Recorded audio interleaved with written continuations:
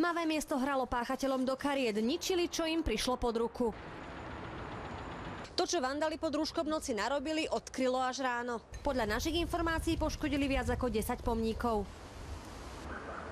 Mestská policia v súčinnosti so štátnou policiou zadržala 4 osoby. Polícia začala trestné stíhanie vo veci prečinu hanobenie miesta posledného odpočinku. Pre židovskú obec je tento prípad odsúdenia hodný a veria, že vinník bude niesť zodpovednosť. Prejav extrémistického vandalizmu je pre nás samozrejme veľmi znepokojivý. Nehovoríme tu len o materiálnej škode, je to aj emočná škoda. A hoci tento cintorín nie je príliš udržiavaný, raz je to miesto posledného odpočinku a to si zaslúži úctu. Páchateľovi v prípade jeho zistenia a preukázania viny hrozí až dvojročné väzenie.